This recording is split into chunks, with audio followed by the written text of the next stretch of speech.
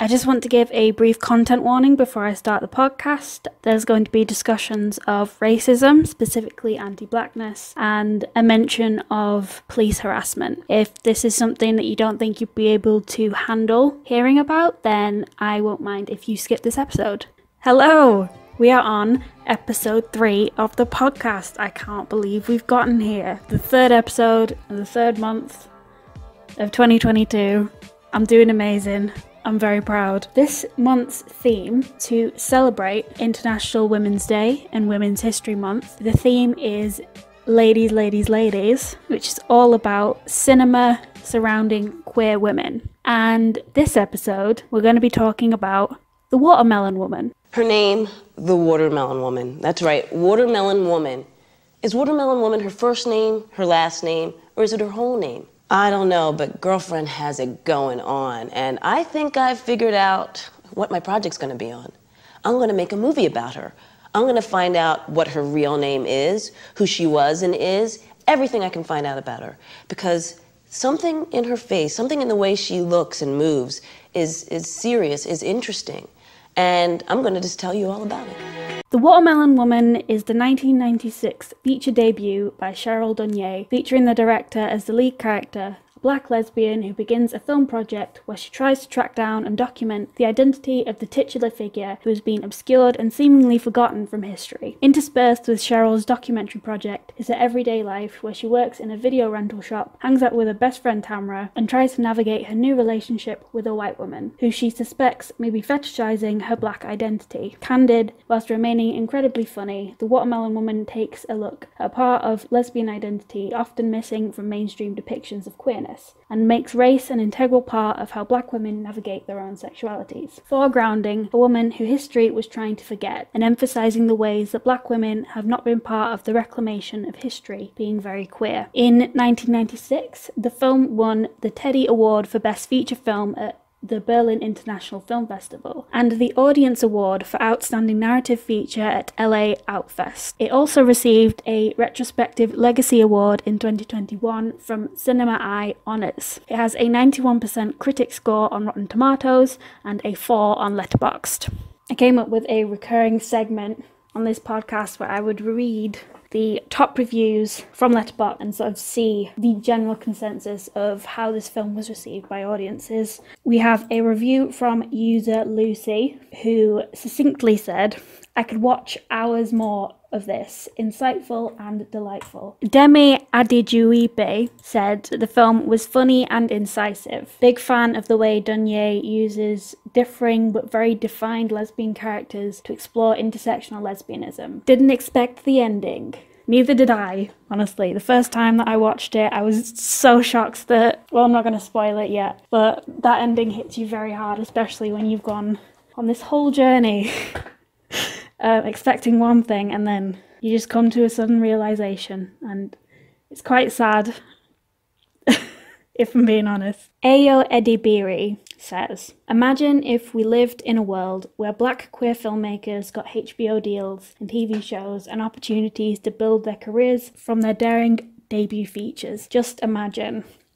Many of the top reviews seem to agree that the film is very good and they're also very saddened that there aren't enough films like it. There seems to be a frustration with the lack of opportunities that black queer women get to have. The film is singular and kind of revolutionary, but it shouldn't have to be. And I think many people kind of clocked onto it. They seem to just have wanted more stuff like this and were shocked that this is kind of the only film like this. And the sad thing, really, is that things haven't gotten that much better. So I've got some statistics. They're very sad, so brace yourself. In January 2021, GLAAD reported that 23% of queer characters on broadcast TV were black, with a higher percentage on cable and a lower percentage on streaming. However, in film, just two of the 20 LGBT plus characters who appeared in major studio releases were black. Another not so fun fact about this film, which when I was researching came up a lot because it is something to praise, but it's also kind of incredibly sad. So, upon its release, The Watermelon Woman made history as the first narrative feature to be released by an out black lesbian filmmaker. and that was in 1996. It's very sad, isn't it? That was only 26 years ago. That was the first film made by a black lesbian. Right, so here is where I'm going to give my spoiler warning. I haven't talked much about the film yet, so whilst we're all aware of how good it is, and that's kind of one of a kind, I haven't gone into details as of yet. So if you haven't seen the film, I would recommend watching it before listening to the rest of this podcast because I am going to spoil a lot of it when I talk about it. Can you believe it? Faye's a sapphic sister, a bulldagger, a lesbian. Oh my gosh, I knew something was up when I saw Plantation Memories.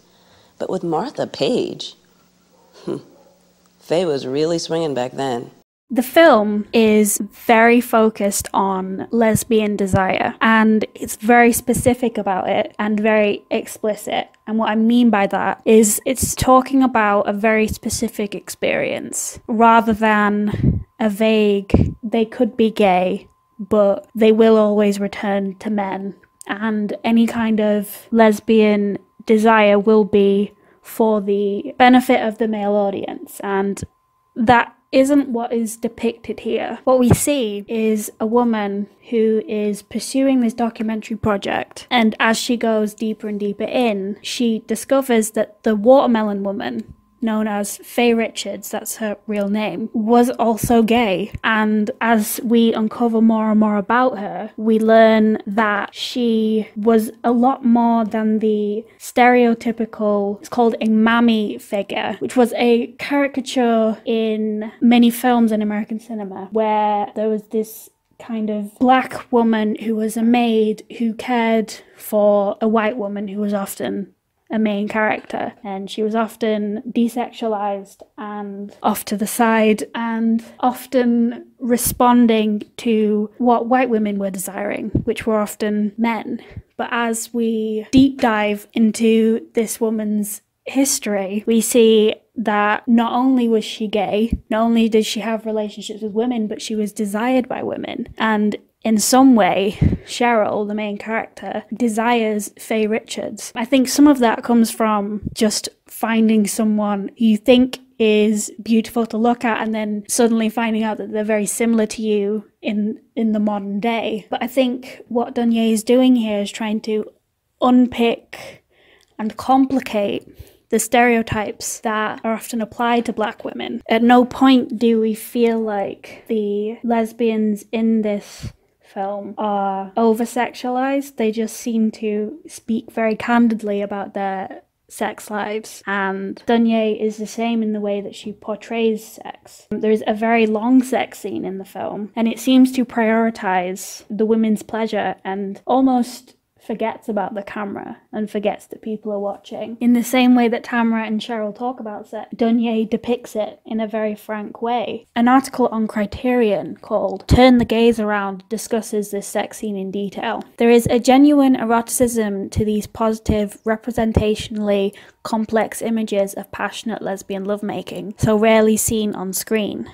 There's also a marked lack of the kind of objectification seen in the mainstream, often male directed lesbian sex scenes. It seems pretty popular at the moment to talk about the female gaze, and I think if we dig into that, I think all we mean is just stuff that feels very human and feels as though the women in the scene are having a good time and the women watching the scene don't feel alienated or as if they're not being spoken to. Moreover, Dunye shoots women in a very particular way. It's often them being able to lead the scene and also just be funny and weird, but also at the same time very intimate. It feels very human, which I think goes along with the documentary style that Dunye applies here. Another thing that I think we can tie into the way desire is depicted is something that isn't discussed that often. I, I don't think, in films at least, is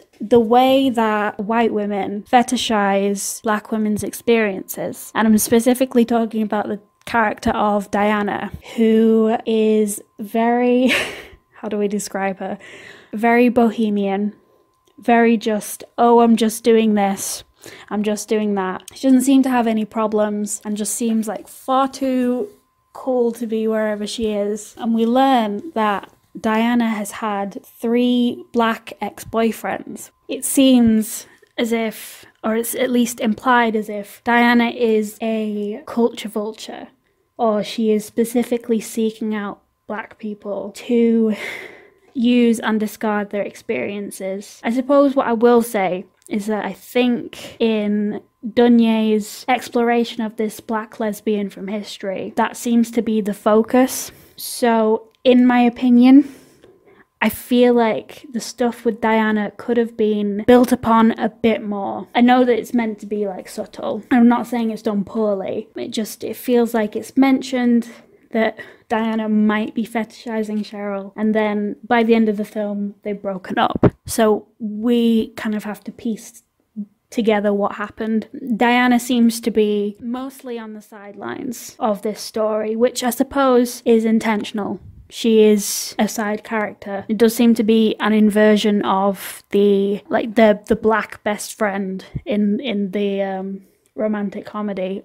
Dunye seems to intentionally keep her off to the sidelines and make sure that Faye's story remains the focus rather than Diana pushing her way into the centre. So, along with kind of this subversion of what it means to be a lesbian and what it means to desire women, we see that Dunye is subverting what it means to desire black women specifically. And the way that Cheryl desires Faye and her story seems more delicate and more intentional than the way Diana kind of comes in and out of Cheryl's life without intention or respect, really.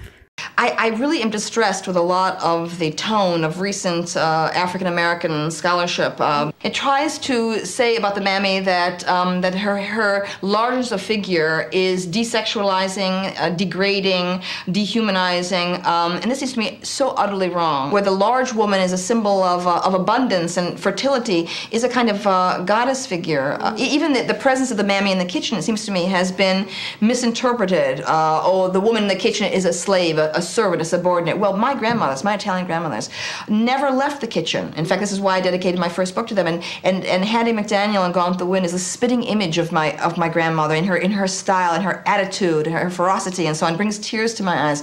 The watermelon seems to me an, another image that has been misinterpreted by by a lot of uh, black commentary.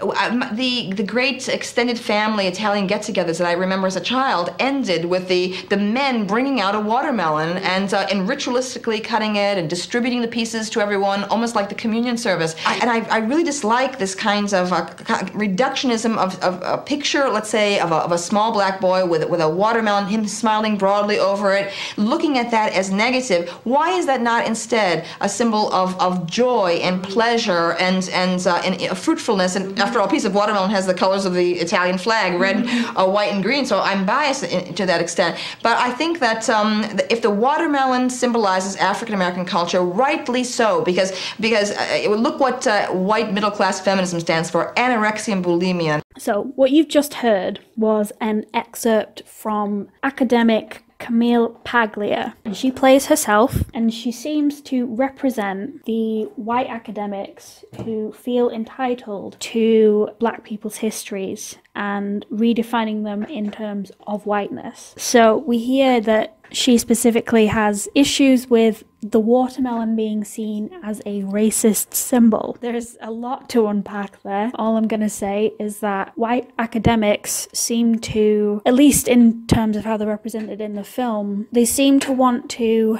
talk about the way in which black people are feeling too offended by history rather than discussing this kind of stuff in context of history because it's fairly obvious that watermelons on their own are not racist against black people. However, they have specifically been used to caricature black people. And when you have a history that refused to see them as complex people, that can feel offensive. The fact that the film is called The Watermelon Woman seems to kind of take aim at that because for a good chunk of the film, we don't know Faye's name. She is only referred to as the Watermelon Woman, and even then, she's often a footnote in white filmmakers' biographies. She barely has a mention in almost all of the academic texts that Cheryl seeks out, the only way that we know who she is is from anecdotal stories from her partner.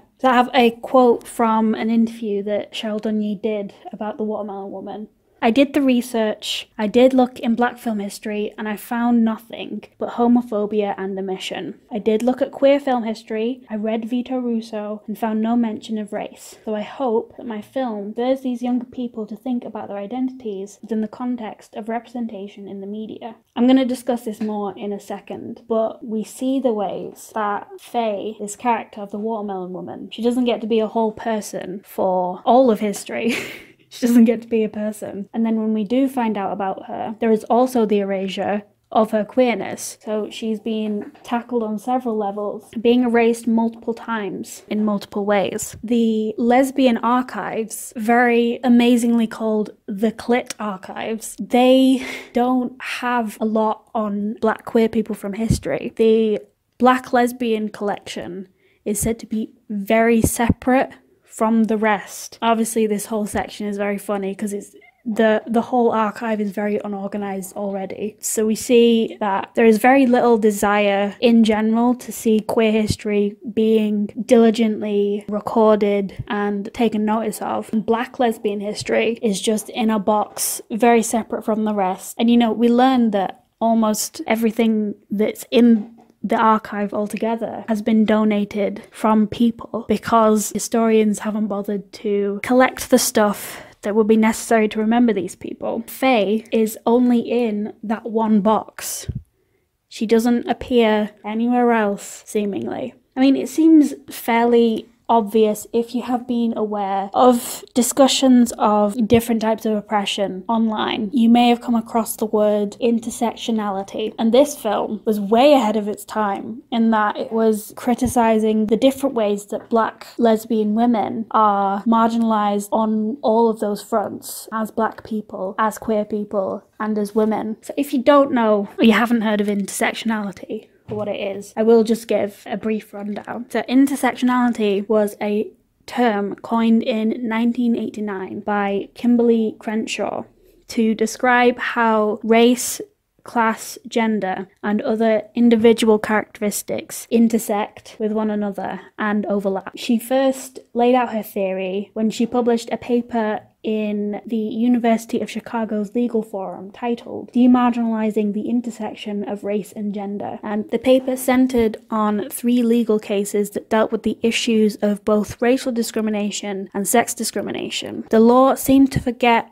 that black women were both black and female, and that they would be discriminated on the basis of both at the same time. Efforts to fight racism would require examining other forms of prejudice. Efforts to eliminate gender disparities would require examining how women of colour experience gender bias differently from white women. So she kind of put that forward, and it had a the word had a resurgence on the internet around the time that feminism came back into the public consciousness consciousness. So there is a chance that you are kind of aware of the word even if you didn't know specifically what it meant. But just to summarize, it is the way that different avenues of oppression can be targeting a person at the same time. Like it's not just racism or just homophobia or just misogyny, how all of these can work within the structures of a white, straight, patriarchal society. What she means to me, a 25 year old black woman, means something else.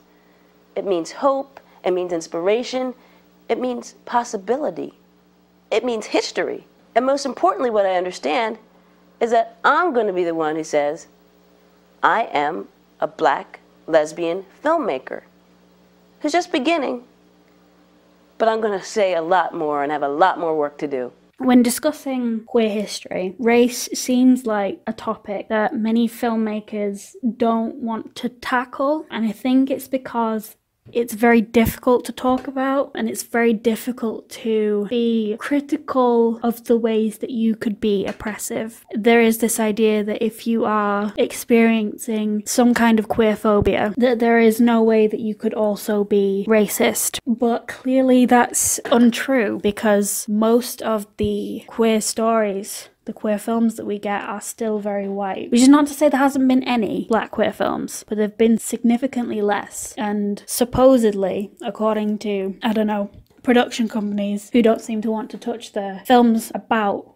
black queerness they don't sell i mean that's that just seems to be an excuse though doesn't it because that's true of like anytime any filmmaker wants to make a story that's not about white straightness. Around the time that this film was made was really an interesting time for queer cinema because it seemed to be a heyday for indie filmmakers who wanted to just make a film about anything. I've got some just like some brief history about black queer representation in cinema. From Nerdist, filmmaking in the 80s began to take a distinctive black queer perspective in response to the homophobia present in mainstream black movies. These films highlighted the HIV AIDS epidemic, which mainstream black films chose to ignore. So that would be filmmakers like Marlon Riggs and Isaac Julien. The 90s is when we started to see a noticeable increase of queer characters with more nuance in black movies. Set It Off and Get on the Bus, both released in 1996, gave us interesting black, lesbian, and gay characters. Dunye is very clever with this film because it's a film made by Cheryl Dunye about a character called Cheryl making a film.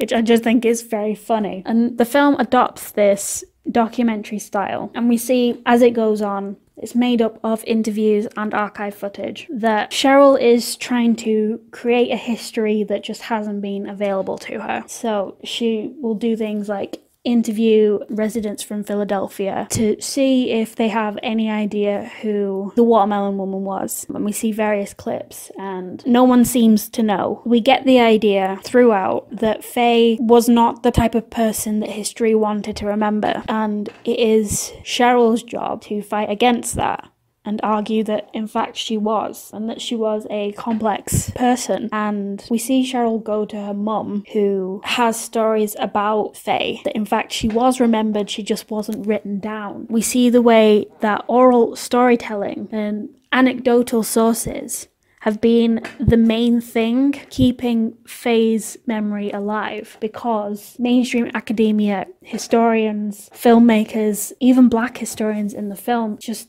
didn't know that she existed, didn't want to know, didn't think she was important enough to be remembered. So, this kind of documentary style seems to be directly going up against the classical Hollywood style, and we see it in kind of this archive footage of various films that Faye had been in. They're very reminiscent of films like Gone with the Wind, which would be the traditional mainstream big Hollywood picture. This film instead is very small and a collage together, and as a result, it feels as though the film is rebelling against a type of filmmaking that oppressed this woman so much that she wasn't even remembered enough to have her name in textbooks, to even have her name in the credits of the film. As an article called The Watermelon Woman at 25 in BFI says, The Watermelon Woman shows a supreme disregard for the purity of form,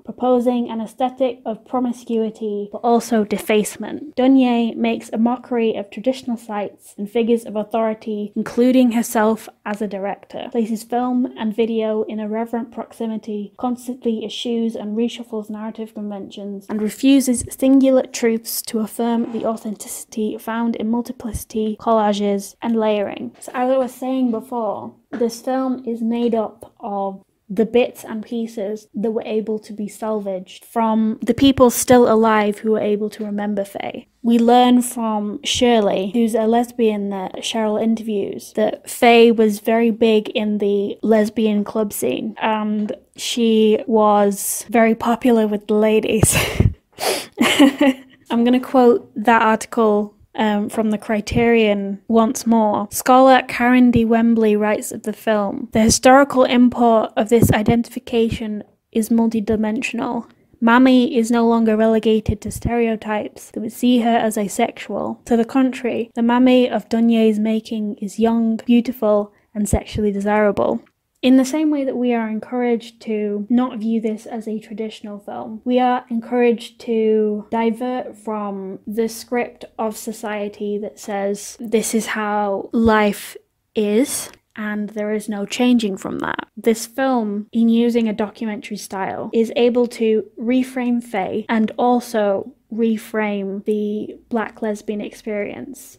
So it doesn't ever seem to detract from the fact that Cheryl is a full person, and because she is a full person, a black woman living in America, she experiences stuff that is specific to black women. That includes dehumanization, it includes being fetishized, and it includes police harassment. It is a very brief scene. It does feel kind of out of context. All we see is Cheryl fiddling with her camera, trying to get into a building, and then very suddenly she is harassed by two police officers. And like I said, it does seem like it's out of context, but the film is trying to build up a picture of the ways that Faye's and Cheryl's experiences are similar, and that because white supremacy hasn't been properly dismantled, only obscured and pushed to the background, these types of oppression are still present in 1996 and also in 2022. I think the most exciting part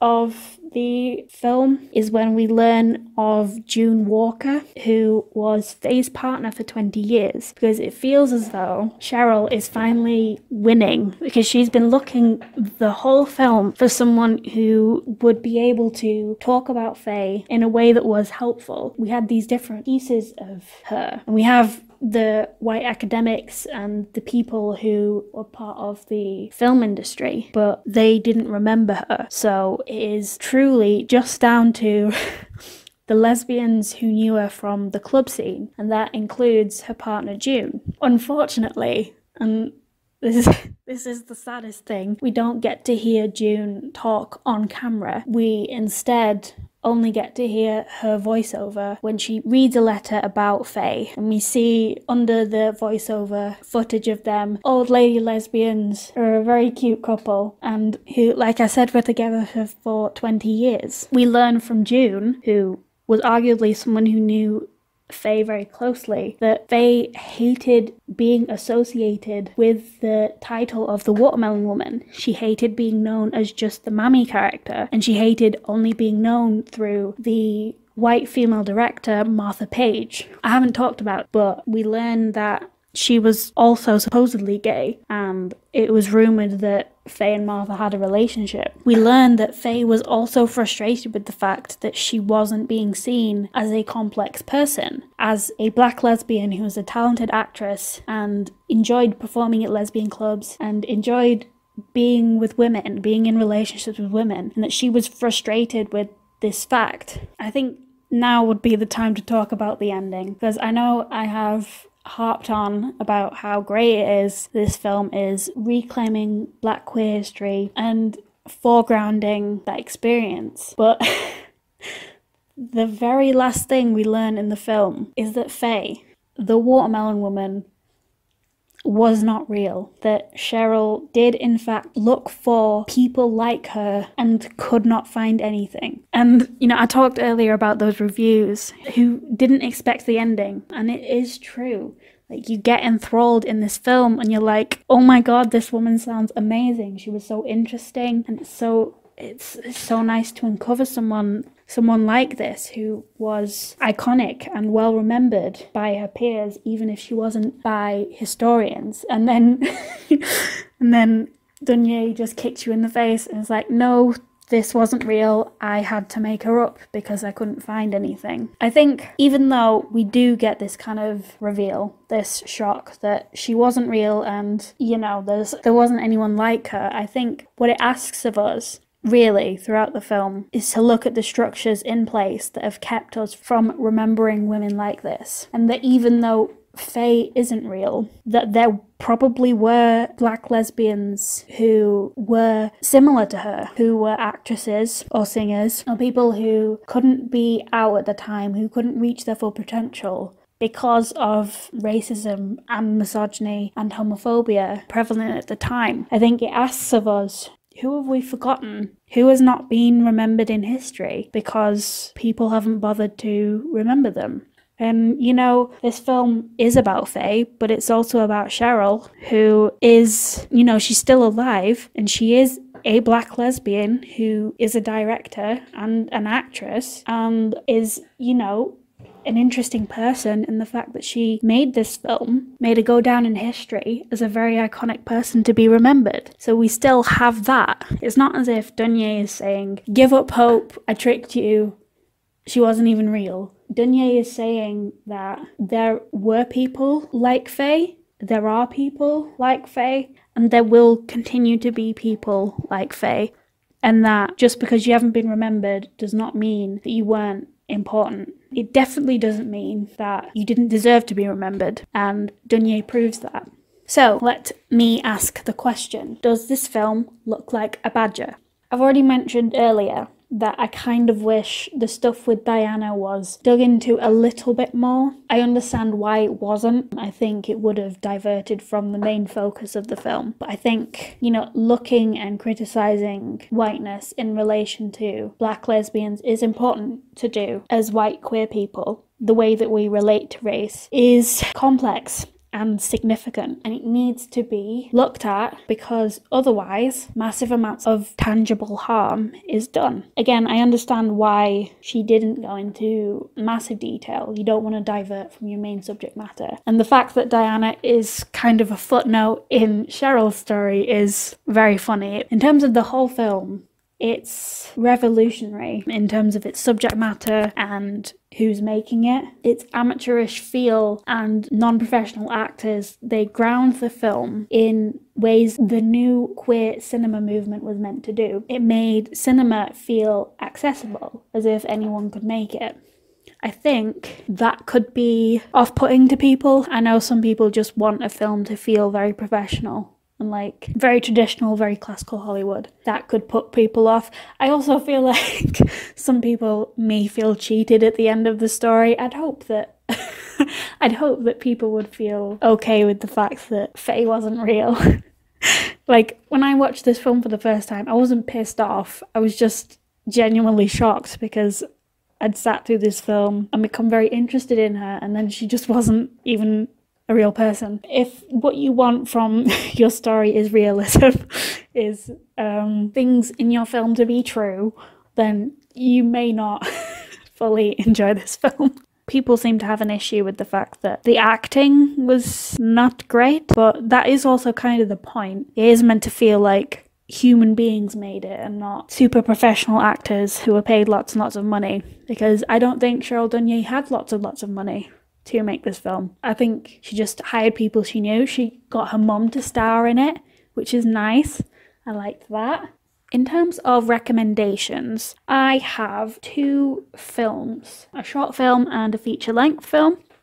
So, the first film is the short film. It's called Pure it was released in 2021 and it is about a teenage girl who is trying to navigate her identity in a strict culture that values purity from young women. I watched this at BFI Flare Festival last year. I was so blown away by it. I distinctly remember there is a spoken word poetry scene in it, so it's safe to say this film's very gay. So the film is currently on HBO Max.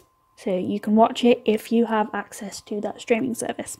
The second film is the feature length film. It's on Netflix and it's called The 40 Year Old Version. It follows a black woman who is on the verge of 40 and she's trying to make some significant art. So she tries rapping and she tries to get her play produced and she basically she keeps coming up against creative roadblocks. It's very good, it's very well performed, it's very interesting. Like The Watermelon Woman, it's a perspective that is not shown often on screen. I think it is important to watch stuff like that, especially if you can access it easily, which you can if you have Netflix. Thank you very much for listening to this episode. I should be doing my next episode in April. The theme for that will be are you ready for my amazing title? Won't somebody please think of the children? Where I'm going to discuss queer family films. If you'd like to stay updated, please make sure to follow me on Twitter at like a badger pod and on Spotify If you'd like to see more of my work, you can find me at ambercanwalk.com. Since my last podcast, I've posted two articles uh, one about Jackass um, and one recommending some films to celebrate International Women's Day. You can check both those out at ambercanwalk.com. If you like my work and you'd like to support me financially, you can donate to my Ko-fi which I will put in the show notes. All of my sources are in the show notes in case you wanted to read more. Thank you again for listening, and I hope to see you again in April. Bye!